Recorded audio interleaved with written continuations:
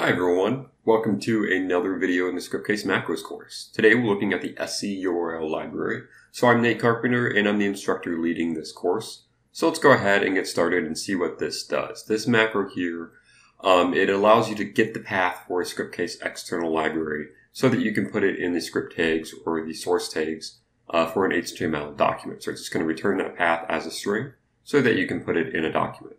So over here I have Bootstrap, and this is a library we're going to be including. So we're going to look at how we can download that and include it. Let's go ahead and look at the documentation for this macro. So you include the target, and so the target is going to be a system for public scope or project for project scope of the library. That's depending on how you set up that library. And then the, the library name in the file. So here's an example of that. So that's being included as a link um, tag there in Scriptcase. So going back to Bootstrap here, um, you can go ahead and download it. I already have it downloaded. And then you need to go to Tools, External Libraries right here. And then you need to go ahead and create a library. So I have lots of libraries here. Scroll down to the bottom and click Create New Library. And I'm going to name this library. You can name it whatever you want. And then I'm going to set it to Project Scope and click Create, like so. And I go ahead and scroll down here. And as you can see, there's a library and it's already being used. If it wasn't, you'd have to click Use Library then save it. But it's already uh, set up in our project, so let's click Edit on it. And it's going to take us to that library, which is blank right now. So there's nothing in the in the library. So we need to upload our files. So we go down and click Upload. As you can see right here, we have this checkbox to extract a zip file here. So this is going to be a zip file that we upload.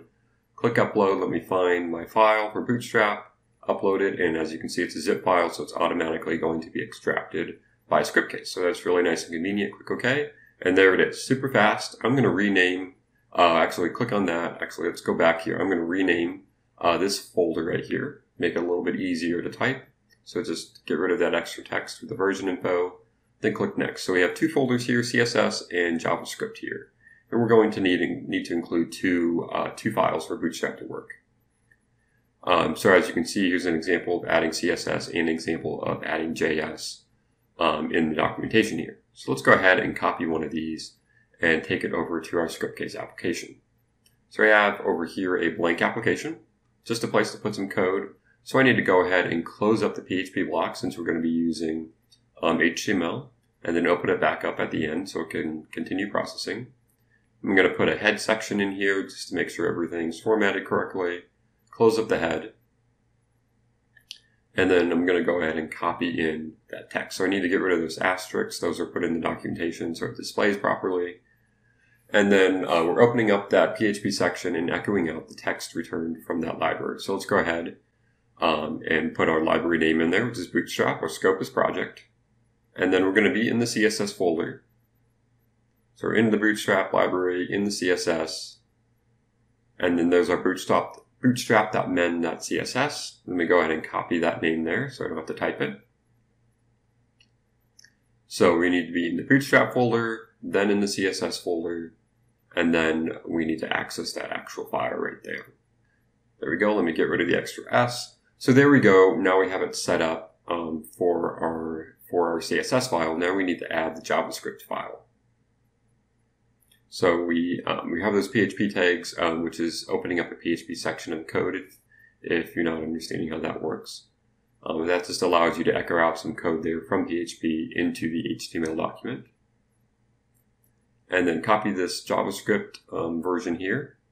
And I'm going to take the asterisks out again, rename our uh, file, our folder correctly here, project there. I'm going to copy this path for the JavaScript file and all we need to do is change the folder to JS and change the file extension to JS. It's going to be the same. Let me show you where that is over in the Bootstrap library here. So let me go back up, then into the JavaScript folder here, and then right there, bootstrap.min.js. So there we go. We have both our files included. Now we can include some elements on screen um, that I'm just going to copy and paste that are using this Bootstrap library. So I've got a, a Jumbotron section here and then um, some different columns here. That's going to look nice. So let me make sure I get rid of that, that extra T on the library name, make sure there's no errors. And let's go ahead and run this. You should see a nice formatted page, which you can.